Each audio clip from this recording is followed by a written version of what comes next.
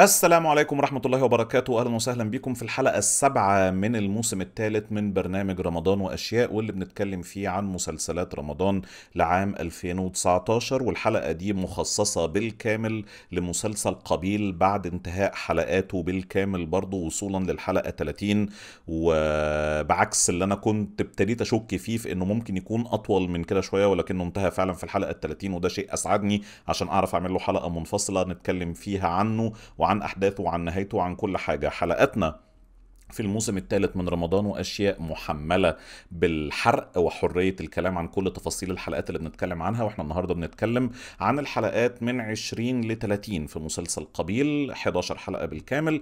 فلو حضرتكم ما شفتوش لغاية نهاية مسلسل قبيل أفضل تقفلوا الحلقة دي وتبقوا ترجعوا لها لما تشوفوا المسلسل. حلقاتنا برضو في الموسم الثالث من رمضان وأشياء ما فيهاش سكريبت ما فيهاش مونتاج فيها كلام مرسل كأننا قاعدين مع بعض كده في قعده أسرية بنتكلم فيها عن رأينا في المسلسل كل اللي قدامي شوية ملاحظات. لا مش شوية هم ملاحظات كتير الحقيقة عشان كده الحلقة دي برضو هتبقى طويلة معلش.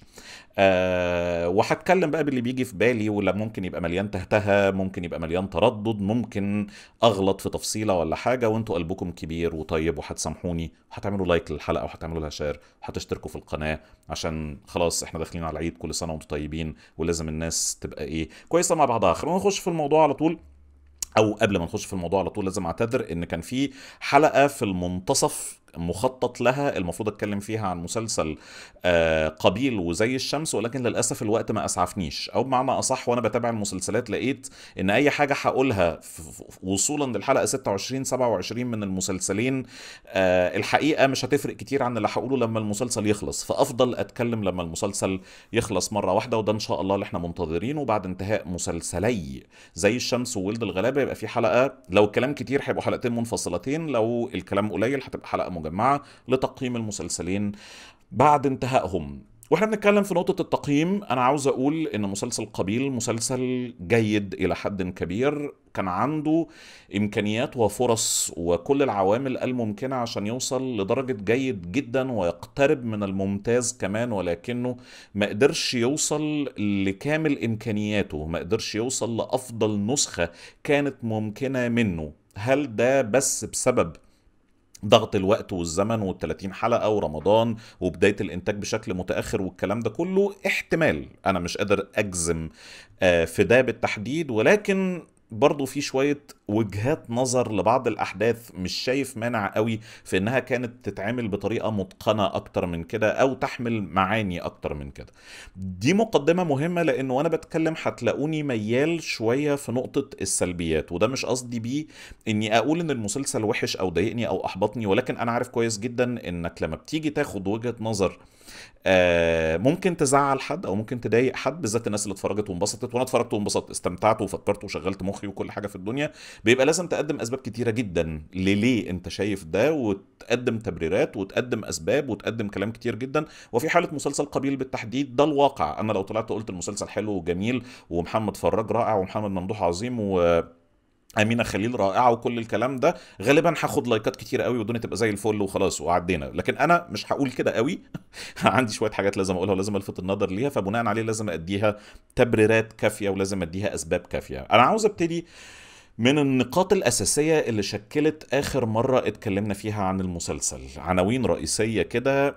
بالمصادفة لسه بتلعب أهم الأدوار معانا في آخر 11 حلقة من المسلسل. أولهم هي إني في الحلقة السابقة اللي اتكلمت فيها عن مسلسل قبيل آه شكرت جدا في التجربة البصرية ولكن قلت إنها تجربة بصرية ينقصها المعنى ينقصها التأثير ينقصها إنك بعد ما تشوفها وتعجبك تبتدي تشغل مخك معاها وتقول آه بس ده معناه واحد اتنين تلاتة أربعة أو نقل لي إحساس بواحد اتنين تلاتة أربعة. طبعا يبقى من الإجحاف إني أقول إن التجربة البصرية شبيهة بأي مسلسل آخر. التجربة البصرية في مسلسل قبيل بتحطه في مكانة ما فيش أي مسلسل تاني من اللي أنا شفتهم من اللي أنا تابعتهم يقترب لها حتى يعني. فبناء عليه هو رفع البار قوي رفع السقف قوي في حتة جودة التجربة البصرية. وده شيء كويس جدا وعشان كده بيحط المسلسل في box متميز بشكل منفصل كده. ولكن لما تيجي تركز قوي على معنى الكلام ده هتلاقيه مفتقد حاجات. هتلاقيه بيقع في بعض الأحيان في فخ التصنيف حلو كده في النقاد الأجانب بيقولوا دايما يقول لك style with no substance أسلوب جميل style حاجة جامدة جدا ولكن تيجي تدور على المضمون تلاقيه آه، غايب تلاقيه مش موجود قوي المشاهد المتكررة بتاعة طارق. في الغابة الزجاجية اللي هو بيروح لها اللي بتمثل إلى حد كبير حالته النفسية المفروض أو حالة الارتباك اللي هو فيه أو مواجهته لنفسه من خلال معرفش مين منقوصة منقوصة منقوصة ينقصها التطور ينقصها قدرته على التغلب أو التحايل أو ايا كان على ما يمثله هذا المشهد أو هذا المكان أو هذه الرمزية. لأن أنا في رأيي حتى وأنا بقول إنها بتمثل مخاوفه بتمثل تهديداته بتمثل ممثل وقوفه قدام نفسه وقدام الحاجات اللي بتخيم على حياته بتقلبها شبحية شوية. أنا حاسس وأنا بقول كده إن أنا متعاطف أكتر من اللازم. هي الحقيقة ما ساعدتش. يعني هي ما كانتش مساعدة. أنا عاوز آخد بإيد المسلسل أنا عاوز أتعاطف مع المسلسل فبقول كده. ولكن هل كل مشاهد ممكن بسهولة ولو حتى على مستوى شعوري يحس بإن المشاهد دي نقلت له الإحساس ده؟ لأ أنا حسيت انها style قوي بدون substance بدون جوهر أكتر من اللازم. مثال آخر موجود عندنا كان في الحلقة 21 لما لما سما وآدم كانوا بيتفقوا مع بعض على الجواز على إن الجواز ممكن يكون حل مشاكلهم عشان يعرفوا يلاقوا شقة يقعدوا فيها. مخرج العمل لقى shot عظيم لقى frame عظيم جدا وهو بعيد شوية وايد جدا للشخصيتين في أشبه ما يكون خيالهم أو السيلوات بتاعهم وهم قاعدين بيتكلموا عن الموضوع وفي خلفيتهم البحر في المكان الصخري الخلاب بالألوان الرائعة والكلام ده كله. ولكن المشهد كان مليان تعبيرات كان مليان عواطف. أنا كنت عايز أشوف وشهم. يعني أنت لو جايب محمد فراج وأمينة خليل في أحد لحظات تجليهم التجسيدي وفي الآخر تبدي عليهم جمال اللقطة اللي انت واقف عليها. في حين إنها ما بتضيفش حاجة ما بتحطش حاجة دول اتنين مجرمين بيتفقوا على عمل إجرامي آه علشان يطلعهم من مأزق هم موجودين فيه. الشاشة دي كانت بتعني إيه. وعندنا حاجات كتير شبه الكلام ده مش عايز أفرد لها مساحة أكتر من اللازم ولكن مسلسل قبيل متميز جدا على مستوى التجربة البصرية من أول لحظة لآخر لحظة بما فيها مشهد النهاية ولكن مش دايما بيعني حاجة مش دايما ليه معنى. النقطة التانية اللي أنا كنت أتكلم كنت عايز أتكلم عليها هي إني انتقدت استخدام الفلاش باك بشكل مفرط. خصوصا وإنه ما كانش بيعني كتير. وكان عندي انتقاد يعني ممكن أصف إن هو أصفه بإن هو كان حاد شوية لأن الفلاش باك ده تم فرده على حلقتين. كنت طيب قوي كنت بريء قوي يا جماعة. هو الحقيقة الفلاش باك كمل معانا لغاية الحلقة الأخيرة. وأغلب الفلاش باك ده كان في حاجات إحنا عارفينها ما بتقول لناش أي حاجة جديدة ما بتقدم لناش منظور يبرر شيء إحنا كنا متشككين فيه. يا عم مفيد في إيه؟ مفيد في إيه إن أنا أعرف هم وقعوا رؤوف إزاي وقتلوه إزاي وكان بيكهربوا إزاي والكلام ده كله. مش عشان وحش إنك توريني ولكن أنت حكيت لي أنا شفتها قبل كده. لو كانت أول مرة بشوف هذا المشهد أو بعرف أبعاده من خلال الفلاش باك أقول لك ماشي لأن ده تقديمنا للحكاية ولكن أنت قدمت الحكاية بأسلوب وبعدين رجعت عدتها بأسلوب تاني خالي تماما من المفاجآت وخالي تماما من تقديم أي شيء مفيد للشخصيات.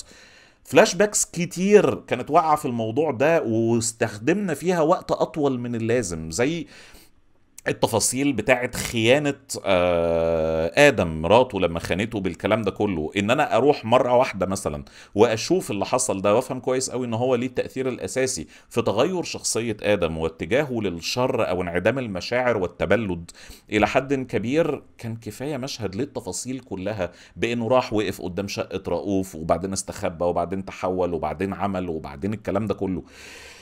خدنا فيها وقت أطول من اللازم شيماء وإزاي لقوها وليه وثقوا فيها في إنها تخش معاهم في المخطط بتاعهم بتفاصيل الانقلاب عليها بالكلام ده كله. دي مش هقدر أقول إن هي ما كانش ليها لازمة قوي بس يعني أول وقت اللي تم استثماره فيها ما كانش بفايدة. وهقول لكم ليه دلوقتي لأن هو بينقلنا لنقطة مهمة جدا أنا كنت خدتها على الهامش الحلقة اللي فاتت لو تفتكروا معايا يعني. بس ليه الوقت ده كله كلمتين ورد غطاهم وأنا كنت هقتنع؟ لأنك ما بتقدمش مفاجأة ما بنكتشفش من خلال ال flashbacks دي حاجة ما كناش نعرفها قبل كده باستثناء فلاش باك واحد فقط لا غير هرجع له كمان شوية وأنا بتكلم عن أحد أهم النقاط الإيجابية اللي في المسلسل. النقطة اللي في الحلقة اللي فاتت اللي أنا خدتها على الهامش لما اتكلمت هي مثلث العلاقة ما بين آدم وطارق وشيماء وحمزة حمزة الكومي اللي هو شخصية رجل الأعمال اللي فيه طار ما بينه وما بين طارق. وأتمنى إن أعرف أشرح النقطة دي بطريقة كويسة. ال- ال- العلاقة ما بين كل اللي تم قتلهم وكل من قام بالقتل مفهومة. والمسلسل عمل وظيفة جيدة جدا في إنه يشرحها ويستعرضها بشكل وافي وكلام زي ده. النقطة اللي فضلت واقفة في زوري هو ليه قتل حمزة وده الشخص الوحيد اللي فيه علاقة مباشرة ما بينه وما بين طارق؟ وصلنا من خلال الأحداث إن شيماء كانت مريضة عند آدم وإنه كان بيعالجها وإنه في لحظات الغضب من خيانة مراته اتجه هو كمان لخيانتها مع شخصية شيماء. ده اللينك. طيب ال link ده موجود ليه؟ يعني ال link ده مفيد في إيه؟ مفيد فقط في إن إحنا نعرف إن هي كانت معاهم على جانب الجريمة وده اللي بيحط حمزة جوه الصورة لأن حمزة هو اللي كان بيضربها وبيهينها وبيعمل الكلام ده كله. طيب ده برضو كان مفيد في إيه؟ إن إحنا ندخل حمزة جوه الموضوع لأن ده دراميا السبب الوحيد اللي حط طارق في في في بؤرة الشكوك وحوله من ضابط بيحقق في القضية لهارب بيحقق مع نفسه وبينتحل صفة ضابط رغم إن هو موقوف عن العمل ومحل شبهات وكلام زي ده عشان يلاقي الحل. كل ده كويس ولكن لما نرجع نقول إن هو في النهاية مبني على الصدفة مجرد صدفة. لا وراها خطة ولا وراها ذكاء ولا وراها حاجة. مرات شيماء اللي بتشتكي من ضرب جوزها اللي خانته مع آدم اللي الكلام ده كله حصل بالصدفة إن جوزها ده كان حمزة اللي حصل بالصدفة إن كان في طار ما بينه وما بين طارق اللي حصل بالصدفة إنه كان بيحقق في القضية دي. أنا كنت حابب إن المسلسل يكشف لنا بعد كده إن آدم كان شايف اللينك ده من بدري وإن هو قصد يعمله عشان يورط طارق في القضية كجزء من أجزاء أبعاد خطته عشان يبرأ نفسه هو وسامة من المسؤولية بتاعة اللي حصل. ولكن ما حصلش ده ما حصلش. آدم عمليا اتفاجئ بال link ده اتفاجئ بوجود الصف... ال- ال- ال- الصدفة دي. وفي أحد مشاهد الفلاش باك اللي برضه ما كانتش سيئة جدا وقع في حجره هدية بإنه شاف طارق بيهدد حمزة أو بيضربه أو بتاع فنزل شاله من على الأرض وحطه في العربية وبعد كده قتله وبتاع ما أعرفش مين. صدفة كمان. صدفة كبيرة. الم... ال- المسلسل ما فيهوش صدف كتير قوي بس دي صدفة كبيرة مجعلصة شويتين. واتنقل عليها أو اتحسب عليها تحولات مهمة جدا جدا جدا وأساسية جدا جدا جدا في قصتنا وفي الحبكة بتاعتنا. وده ما عجبنيش قوي. مش حاسس إن هو كان أذكى حاجة ممكنة وك... وكان في طرق لتجنبه أو لعمل حاجة حواليه أو خلق تغيير ينقل لنا أبعاد تانية في الشخصيات بتاعته كمان يعني. لسه عندنا آه، مشاهد الحنين مشاهد الهوماج ال- اللي أنا كنت اتكلمت عنها في الحلقة اللي فاتت وقلت إن مخرج العمل كريم الشناوي يبدو إن هو متأثر شوية ب Quentin Tarantino بالتحديد في أحد مشاهد Pulp Fiction وفي أحد مشاهد Kill Bill ولسه عندنا بعض ال homage وأنا برضو مش قادر قوي أسميه homage أنا ميال أكتر لإني أسميه copy لأن إضافتك مش موجودة قوي لأنك ما بتجددش في المشهد ولأنه إلى حد كبير مقحم. المشهد اللي فيه homage كبيرة قوي في الحلقة أو في ال 11 حلقة اللي فاتوا هو آخر مشهد في المسلسل كله مشهد المو- المواجهة الأكشنية اللي حصلت ما بين طارق وآدم على ضفاف البحر وده خنقه وده ضربه بالنار والكلام ده كله. ده فكرني جدا وقد أكون مخطئا طبعا. يعني محدش يقدر يحكم على النقطة دي غير مخرج العمل أو صاحب الفكرة يعني. آه فكرني جدا بمشهد مقتل Luv اللي هي Sylvia Hoeks في فيلم Blade Runner 2049 والفارق مرعب. الفارق مرعب. فارق التأثير النفسي مرعب. يا جماعة أنا المشهد ده أولا أنا أنا أنا مش مش معجم سينمائي ماشي عمال ألقط كل مشهد في الدنيا وأقول لك ده اتنقل منين. بس أنا أعتقد إن أنا حاسس بالمشاهد ديت لأنها حقيقي كانت مؤثرة. حقيقي ما بتتشالش من ذاكرتي يعني. ومشهد مقتل لاف في بليد رونر حاجة تانية. مش مجرد إن هو كان مشهد مخيف في تفاصيله في حتة المركبة اللي. الطيارة اللي بتغرق وفي نفس الوقت وهو بيخش معاها في حرب والحرب ديت موازينها بتتقلب أكتر أو معركه يعني موازينها بتتقلب أكتر من مرة ولكن الحمل النفسي اللي موجود عند الشخصيتين عند عند الشخصيه اللي كان بيجسدها راين جوزلينج والشخصية اللي كانت بتجسدها سيلفيا هوكس إن سيلفيا هوكس لآخر لحظة بتنقل لك فكرة أنا بتقتل آه أنا بموت آه ولكن مش دي أكبر قضية في الدنيا القضية إن أنا بفقد أكتر حاجة بتميزني وهي إني أقوى منهم كلهم وإن أنا أفضل منهم كلهم. ده كان غايب تماما في المشهد بتاع قابيل مش موجود اطلاقا في المشهد بتاع قابيل دي كانت مجرد مواجهة أكشن ما بين واحد مرتبك وواحد بيلعب آخر كروته وظهره بقى للحيط تماما. دي أجواء ودي أجواء. أنا ما بسفهش من الأجواء بتاعه قبيل ولكن بقول إنك تاخد دي وتحطها في نفس الخانة مع عمل آخر وما تضيفش جديد ما تحطش حاجة ما تخلقش استفادة. بتقلل من قيمة اللي انت عملته رغم ان هو على المستوى التقني كان مشهد جيد جدا بس انت قربته بشكل أكتر من اللازم من شيء صعب قوي يرتقي له أو صعب قوي ان إحنا ننقله بالشكل المميز. قلت برضو في الحلقة اللي فاتت ان أنا ما عنديش مشكلة مع الايقاع إن إيقاع المسلسل بعد ما كان دخل في فخ البطء شويتين ولكن مع تحول طارئ للجانب بتاع الهارب ومع ظهور آدم وسما واكتشاف المفاجأة الكبرى اللي ما كانتش مفاجأة قوي لأن الاثنين نجوم كبار زي ما إحنا عارفين من البداية.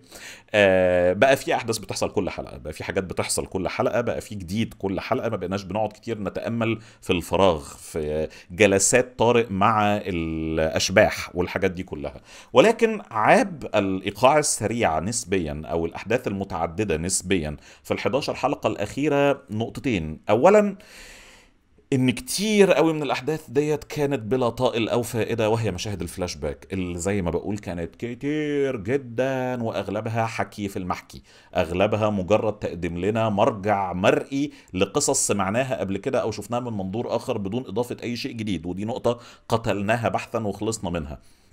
الأزمة التانية إن كتير منها مش هقول كتير هقول عدد مهم منها كان للأسف يتسم بالسذاجة. كان في شوية أحداث أنا شايف إنها ساذجة.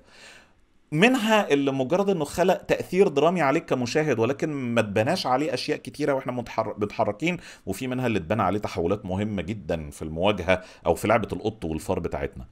اللي ما خلقش تحولات كتير ولكنه كان لحظة مهمة واتكلمنا عنها كتير حصل في الحلقة ال21 لما طارق كان في الجانب المقابل من الشارع من سما وما شافوش ما شافوش بعض أو هو ما شافهاش فدي كانت لحظة ironic أكتر من اللازم لازم ملهاش تأثير كبير ملهاش شيء إضافي قوي يعني ولكن أنا شايفها كانت ساذجه شويتين لأن إحنا بندور على إبرة في كوم قش المفروض عمليا فكونك كمغناطيس تلاقي الإبرة على الجانب الآخر من الشارع ما يشوفوش بعض. فراغ قوي فراغ قوي ما ما ضافتش كتير. وكانت يعني عبثية بشكل مش مفيد جوه أجواء المسلسل. إحنا مش عايشين في أبعاد العبثية وإحنا بنتفرج بشكل عام. فاللقطة دي ما ضافتش حاجة ما خلقتش تأثير. كل اللي خلقته لحظة الناس عمالة تتكلم عليها في السوشيال ميديا.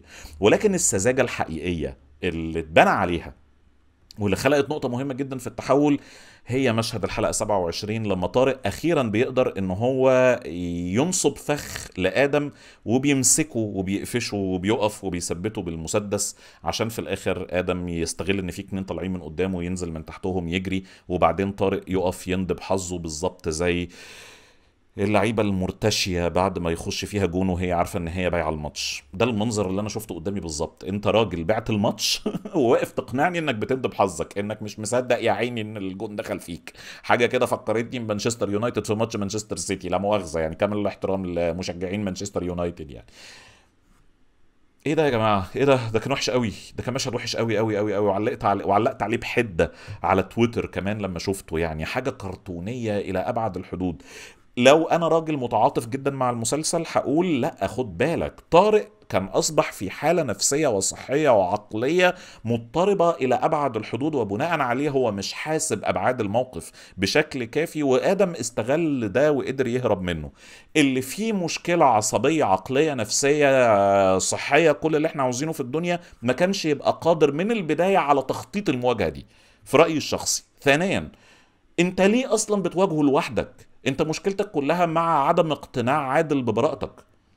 اللي هو الضابط صديقه أو كان صديقه أو الكلام ده كله. طيب ما ما تقدم بلاغ زي ما آدم قدم بلاغ ضد البواب اللي كان عنده ولبسه في مكيده كانت حلوة قوي بصراحة بتاعت المخدرات والكلام ده كله. ما تقدم بلاغ خاطئ بإن قبيل موجود دلوقتي في المكان الفلاني هوبا البوليس يخش يلاقي آدم الفيلم خلص المسلسل انتهى. في اللقطة دي بالتحديد خلاص كل الصراعات بقت فس بقى بوليس ضد الراجل حتى لو هرب منه بالأمباليه اللي هو عمله من تحت اللي كانوا خارجين دول في الآخر. ماشي يعني. نخرجها صح بس يعني نخليها مقنعة شوية بس وبعدين نكمل على الكلام ده. زي ما بقول بعض السذاجات مش كتيرة قوي على مدار المسلسل لأن المسلسل فيه حاجات كتير جدا محبوكة ومرسومة بإتقان شديد جدا جدا جدا وهي اللي بتديله وزنه الحقيقي في نقط التفاصيل. ولكن إنك تعتمد على مواجهة مهمة جدا زي دي وتحول مهم زي ده بالسذاجة اللي اتقدمت دي أنا أحسبها على المسلسل نقطة كبيرة مش نقطة صغيرة. طيب قعدنا اتكلمنا كتير عن حاجات مش كويسة نتكلم على الكويس نتكلم على الحاجات الكويسة وهي كتيرة جدا. كل حاجة كويسة في المسلسل ده في آخر 11 حلقة بالتحديد ليها علاقة بالوقت الحاضر ليها دعوة باللي بيحصل دلوقتي. لا بالبعد ال supernatural أو النفسي المتعلق بالأشباح اللي موجودة في ذهن طارق اللي بتظهر له ولا ليه علاقة بالفلاش باك اللي اتحكى يا إما بالكلام يا إما بالمشاهد ورجع تاني اتحكى بالمشاهد بنفس التفاصيل من دون إضافة أي شيء جديد. الناو الزمن الحاضر الأحداث أحداث اللي بتجرى دلوقتي وبالتحديد أكتر على الجانب بتاع آدم وسما بالتحديد أكتر مع بداية ظهور صفصف وعمر. من الحلقة 22 موال تاني المسلسل اتشقلب المسلسل خد حقنة أدرينالين المسلسل خد طاقة غير الطاقة. فجأة الجانب الدرامي بقى له وزن. وعلى فكرة أنا الثلاث مسلسلات اللي أنا بتابعهم أو الأربع مسلسلات اللي أنا بتابعهم فيهم جانب جريمة وفيهم جانب دراما. كلهم مفيش ولا واحد فيهم درامي بنسبة 100% وكلهم يا إما عملوا الدراما حلو قوي وعملوا الجريمة حلو يا وحش يا إما عملوا الج... ال... ال... اللي هو العكس. أنا نسيت أنا قلت إيه في الأول. يا إما عملوا الدراما حلو والجريمة وحش يا إما عملوا الجريمة حلو والدراما وحش. فيه إحنا مركزين قوي وزي الفل. ما عدا مسلسل واحد ولد الغلابة اللي عمل الاثنين بشكل متوسط. بس هو ده اللي بيخليني أقول دايما إن ولد الغلابة مسلسل ليه وزن ما هوش مسلسل أي كلام يعني. قبيل لغاية لما ظهر صفصف وعمر كان ميال قوي لأن الجريمة بتاعته حلوة اللغز بتاعه يحير يخليك تفكر وتشغل مخك ولكن الدراما أشباح ومش أشباح واثنين ظباط واحد فيهم بيرضي التاني وكل شوية يرفع التليفون يقول له أيوة يا عبد الرحمن وبعدين يقول له قبيل نزل بوست والموال ده. الدراما ما بقتش دراما ما بقتش حاجة بجد غير لما الشخصيتين دول ظهروا. وبقى في أحداث اجتماعية كوميدية أو درامية جادة بتحصل داخل البيت الصغير اللي الاتنين قاعدين فيه في أدوار مختلفة واللي في خلفيته في جانب شرير بيضمره آدم تجاه عمر لأنه طالب منه إنه يرجع تاني لحياة جريمة عشان يحقق له هدفه و ديناميكية للصبح بقى رايحة جاية الجد مع الكوميديا مع الهزار مع المشاهد اللي فيها تعاطف كبير معرفش مين طاقة رهيبة اتضافت في المسلسل من خلال ظهور الشخصيتين دول. واللي قادونا لأجمل مشاهد تمثيلية أنا شفتها في كل مسلسلات رمضان هذا العام وأنا ما شفتش كل المسلسلات شفت عدد محدود من المسلسلات لازم أوضح ده كل شوية وأنا بدي حاجة في المطلق وهي المشاهد الأولى لأمينة خليل مع عارفه عبد الرسول مع صفصف اللي فيها بتنقل لنا الشخصية اللي كانت مفرغة من الحياة ومفرغة من المشاعر وهي لأول مرة بتختبر شعور إن يبقى لها أم وهي قاعدة المفعول به والمراقب في نفس الوقت. وقدمت أداء ما عملتوش في عمرها كله بمنتهى الأمانة. أنا دايما كنت بتردد وأنا بتكلم بشكل إيجابي عن أمينة خليل أو بتعب شوية عشان ألاقي جوانب جيدة في التمثيل بتاعها. حتى في المشاهد اللي هي ظهرت فيها لغاية قبل الحلقة 22 في المسلسل ده أنا كنت شايفها بالمعنى الدارج يعني بلا ماشي لا كويسة لا وحشة ولا حلوة لا بتضيف ولا بتاخد. حاجة كده زي أول 20 بق من شوب العصير القصب اللي هو أنت ما بتحسش بطعم المسكر غير بعد ما بتشيله من بقك بس. نفس الموضوع ده ولكن فجأة حياة عالم شخصية بلا حياة بتنبض فيها الحياة حاسة باللي بيحصل لها وبتراقبه في نفس الوقت. ما بتتكلمش كتير ولكن بتنقل بعينيها. المشهد اللي كانوا بيعملوا فيه المحشي والكلام ده كله. المشهد اللي كان ما بين عمر وآدم آدم اللي هو الشخصية الشريرة الشيطان اللي معرفش مين الكلام ده كله بعد الاكل وهم قاعدين على الكنبة مفخدين تقلوا من المحشي والملوخية والبتاع معرفش مين. حلوة قوي مشاهد دافية جدا وبتنقل كتير وبتضيف كتير وبتحرك كتير. خد بعد كده مستوى التفاصيل بتاع جوانب الجريمة للي كان بيحصل في مطاردة طارق ليهم مشهد السكورينج مشهد آدم وهو رايح يقضي مخدرات من على طريق الساحل والشغل بتاع العرب ومش العرب والعربيه اللي بتدي كود للعربية اللي بعدها وأنا وأنا قاعد بتفرج أنا حسيت إن إحنا ارتقينا يا جماعة إحنا طلعنا فوق قوي على مستوى التفاصيل في حاجات فيها مخ وفيها شغل وفيها بتاع بقيت بكلم المشهد والمشهد بيكلمني. يعني لما طارق راح بعد كده خاض نفس الحد الرحلة بتاعت آدم علشان يجيب بودرة آه أنا قلت أنا أنا اللي قلته انت انت انت عامل مشهد حلو قوي انت عامل مشهد حلو قوي قوي قوي بتفاصيل كتيرة جدا ناقصه حتة واحدة بس إن مستحيل الناس دي يخش عليها إن الراجل ده أي حاجة غير مباحث وده اللي حصل بالفعل. أموت أنا في المشهد اللي كلمه يكلمني اللي آخد ودي معاه اللي أشغل مخي معاه ويحسسني إن هو محترم مخي هو كمان وبيفكر معايا وبيشتغل معايا. تفاصيل عملية التزوير بأن الراجل بيدور على غلاف من مكان رسمي عشان يقدر يعمل عليه التف... الحاجات بتاعته اللي هو شخصية عمر مع الجدع بتاع المطبعة اللي كان بيتكلم عليه وإن طارق يستخدم التفصيلة دي في إنها تبقى سكته لإن هو يعرف يوقع آدم أو حاجة بالطريقة دي. عشان كده بقول لك ده إحنا عندنا درجات ذكاء مرتفعة جدا مرتفعة جدا. ليه بعد كده نروح واخدين حتة مقلب ساذج يزعلنا من بعض. ما إحنا إحنا مخنا في مكانة تانية. حقيقي مسلسل قبيل على مستوى الأفكار اللي موجودة فيه واللي ممكن يطلع منه في مكان تاني في مكان تاني جدا. ولكن هو بمزاجه بيعمل بعض القرارات الساذجة جدا اللي بترجعه أقل من حتت معينة في بعض النواحي زي الجوانب الساذجة اللي اتكلمنا فيها والأمور اللي إحنا ناقشناها والكلام ده كله. وفضلنا متحركين بالطريقة ديت رايحين جايين فوق وتحت حبة فوق وحبة تحت وبتاع لغاية لما وصلنا للحلقة الأخيرة والحلقة الأخيرة اللي شهدت جدل كبير في أوساط ال social media والناس ابتدت تتكلم عليها وأغلب الكلام كان سلبي أتصور. آه وأنا ما عنديش نفس الإحساس دوت بالسلبية. أنا أنا تحفظي الوحيد أو خلينا نقول عليهم تحفظين. اولا ال- التأثر الشديد بمشهد بليد رانر زي ما اتكلمت وقد أكون مخطئا كمان مرة. يطلع حد يقول ما خطرش على بالي بس خلاص بسحب كلامي ماشي. آه والنقطة الثانية هي مصير شخصية سما. ودي نقطة ليك أنت أخلاقية بقى يعني دي لا ليها دعوة بدراما ولا ليها دعوة بسينما ولا ليها دعوة بتاع أنت اخلاقيا قابل الموضوع ده ولا لأ؟ انسانيا قابل الموضوع ده ولا لأ؟ إن سما تنجو بشكل أو بآخر وتطلع زي ما يكون فعلا هي اكتسبت جانب من جوانب إنسانيتها من خلال علاقتها مع صفية خلتها تدخلها في حالة انهيار وتضارب ما بين جرائمها وما بين إحساسها بالعرفان وإحساسها بالخيانة في نفس الوقت من عمر يا جماعة الكلام الحلو يطلع منك كلام حلو. أنا أتصور إن مفيش ناقد في الدنيا قادر إن هو يقول كلام يعجبه وهو بيقوله بصرف النظر عن عجب الناس ولا لأ ده شيء هو حر. وأنت بتقول الكلمتين كده سلام سلام على اللعبة الحلوة لما تطلع منك الكلام الحلو. آه ودتنا في الآخر لمشهد فلاش باك الوحيد اللي ليه معنى اللي كنت بشير ليه في البداية مشهد مقتل أمها دي حاجة ما كناش نعرفها. مشهد تورط أبوها في مقتل أمها دي حاجة ما كناش نعرفها.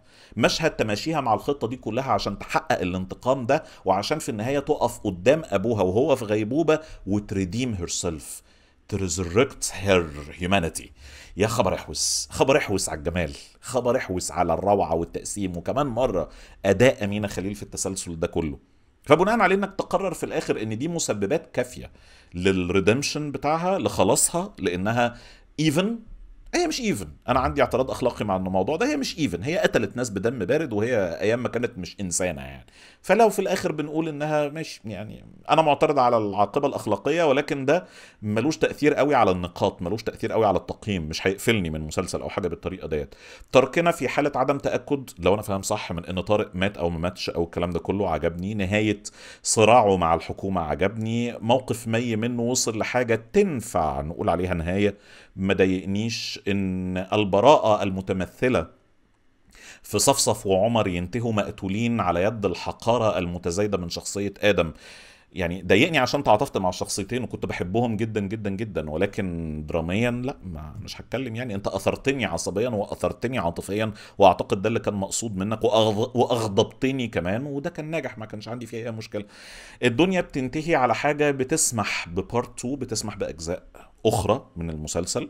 ما اكرهش حاجة بالطريقة دي لو هنكمل حدوتنا حدوتتنا مع سما أقبل ما عنديش أي مشكلة. لو ختمناها على كده أقبل برضو ما عنديش مشكلة. فأنا آسف لو بحبط المعترضين الكثيرين اللي كانوا بيلجأوا لي على تويتر متصورين إن أنا اللي هجيب لهم حقهم. لا معلش يعني أنا pass في الطلعة دي. أنا ما اتضايقتش من النهاية بمنتهى الأمان. مسلسل قابيل بشكل عام زي ما قلت مسلسل جيد إلى حد كبير ولكنه لم يحقق his full potential ما هواش أفضل نسخة كانت ممكنة منه. وأنا بحب قوي النقطة دي في التقييم. يا جماعة. وكمان مرة هروح فيها لعالم الكورة عشان بس نبقى فاهمينها بشكل كويس.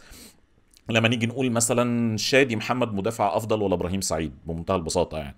فتقول لا بكل تأكيد إبراهيم سعيد عنده تكنيكاليتيز وعنده فن وعنده كورة وعنده دفاع وعنده كل حاجة أنت عايزها في الدنيا أكتر من شادي محمد. بس هل شادي محمد وصل لأفضل نسخة ممكنة منه؟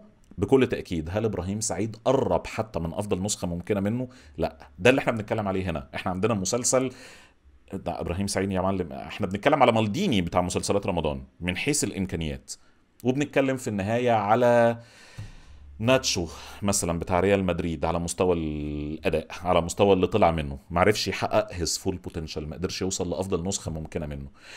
التجربة البصرية ما فيش خلاف عليها ولكنها مش دايما كانت بمعاني كافية. المسلسل مال كتير قوي على مستوى الجريمة لتحسين وإتقان أبعاد الجريمة والألغاز بتاعتها والكلام ده كله. وده جه في وقت طويل جدا على حساب الدراما آه واللي انتصرت بشكل كبير قوي مع ظهور عمر وصفصف. أنا عسم أنا لو في إيدي أسمي المسلسل ده عمر وصفصف بكل تأكيد يعني.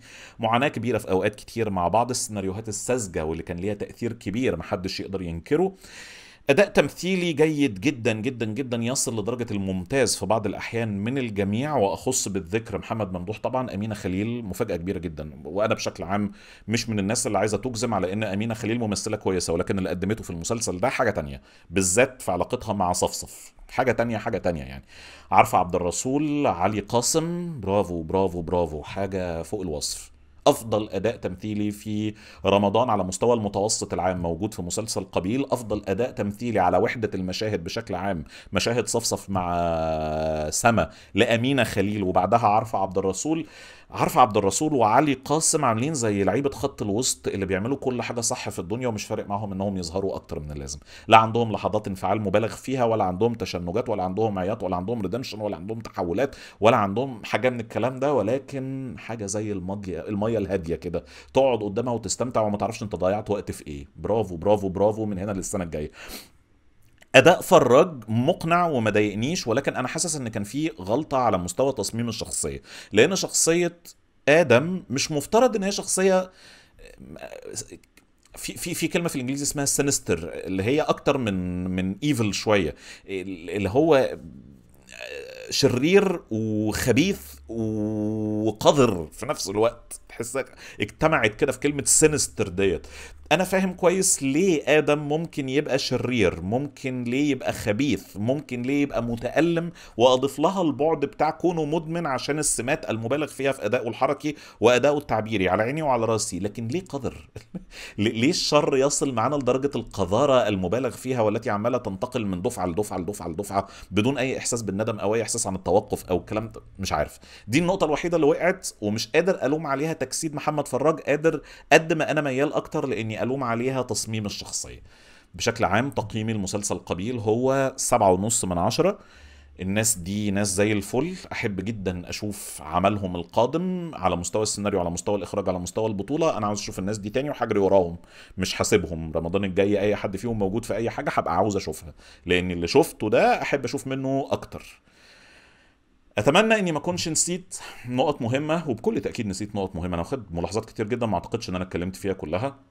لو في نقطة تحبوا إن إحنا ممكن بعد كده بعد العيد مثلا إن شاء الله نبقى نطلع لايف مرة على فيسبوك نتكلم على كل الأسئلة اللي موجودة عندنا في الأربع خمس مسلسلات اللي اتفرجنا عليهم يعني أو اللي شفنا منهم عدد معقول من الحلقات حتى عشان أقول رأيي أو لو في سؤال في نقطة معينة مهمة ممكن أكون أغفلتها يبقى عندنا فرصة نعمل كده. يا ريت تقولوا لي لو عاوزين كده في ال comments يا ريت تشاركوا معانا في ال comments بآرائكم في المسلسل وانطباعكم وتقييمكم النهائي ليه. ألف شكر لحضراتكم على المشاهدة. يا ريت تعملوا share و like للحلقة لو عجبتكم. اشتركوا في القناة وشغلوا جرس التنبيهات عشان تجيلكم الحلقات أول بأول وتابعوني على فيسبوك وتويتر. و bye bye.